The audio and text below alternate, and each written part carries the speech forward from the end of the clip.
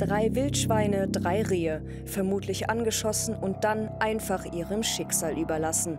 Revierförster Rolf Fischer und sein Hund Adam haben die Tiere in einem Wald bei Hilperhausen gefunden. Ein Wildschwein direkt hier zwischen den Sträuchern. Es war schon tot. Doch vier der Tiere haben noch gelebt, als Rolf Fischer sie fand. Also ich muss sagen, das hat mich auch nicht ganz unberührt gelassen ähm, weil ich einfach dann auch die, das Leiden des Tieres dann äh, sehe. Und äh, die Tiere können sich zum Teil ja nicht mehr äh, äh oder die, die äußern diesen Schmerz nicht, äh, sondern sie leiden still vor sich hin und das ist das eigentlich Schlimme daran. Ja. Und das geht auch an mir nicht spurlos vorüber.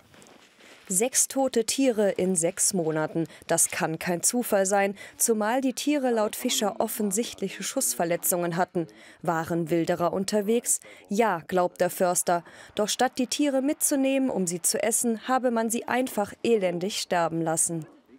Für mich hat das mit äh, einem äh, einem Wildern, wie es in manchen Heimatfilmen manchmal äh, romantisch verklärt wird, überhaupt nichts mehr zu tun.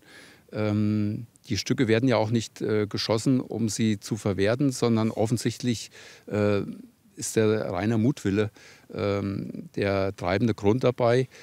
Die Lust, ein Tier einfach so zu töten oder zu verletzen. Auch Wilfried Machewka vom örtlichen Jagdverband ist beunruhigt. Schließlich gäbe es immer wieder solche Fälle. Ja, es ist mir unerklärlich. Es gibt ja da die verschiedensten Fälle, dass äh, Nachbarn auf äh, Katzen schießen mit dem Luftgewehr oder dass äh, Pferde misshandelt werden.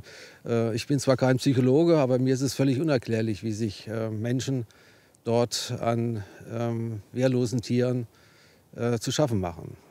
Nun ermittelt die Polizei. Konkrete Hinweise, ob es wirklich Wilderer waren, gibt es aber noch nicht. Wir sind natürlich äh, auf die Mithilfe der Bevölkerung angewiesen. Und Sie können sich vorstellen, es ist sehr, sehr schwierig für uns im Wald da nach einem Wilderer zu suchen. Und äh, da stehen wir aber auch in engen Kontakt mit dem Jagdpächter bzw. auch Hessen Forst. Bis zu drei Jahren Freiheitsstrafe stehen auf Jagdwilderei. Rolf Fischer hofft, dass der Fall schnell aufgeklärt wird und dass er bald wieder in seinen Wald gehen kann, ohne die Angst, ein totes Tier zu finden.